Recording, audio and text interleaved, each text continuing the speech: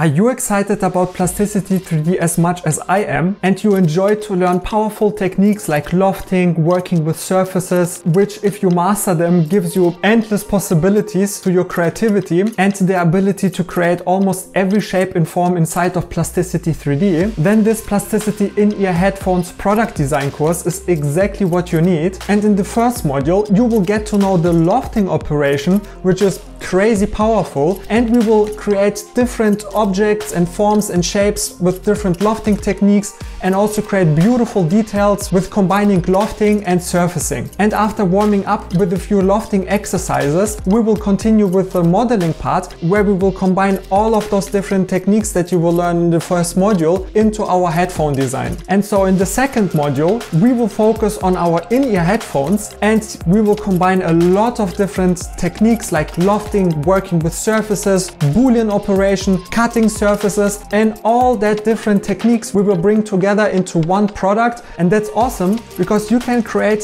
afterwards your own complex designs because you will know how to combine all those workflows and techniques together into a product. And as always guys, I explain everything absolutely down to the detail so I can make sure that you can follow along whether you are a beginner or an intermediate so you can learn to use plasticity in the best possible way. And in the third module, so you can use that model that we've created in your usual software like Blender and Cinema 4D, I will teach you how to export it with a clean mesh so you have no problems to work further with it. So this is the course if you are just interested in the Plasticity 3D modeling part but if you want to learn also how to create photorealistic unique product renderings, I have created an extension which you can purchase where I will teach you how to create high quality product renderings inside of Cinema 4D and Octane. And we will cover everything, how to position lights, how to use gradients in the lights, how to create beautiful layered materials and then emphasize those beautiful photorealistic materials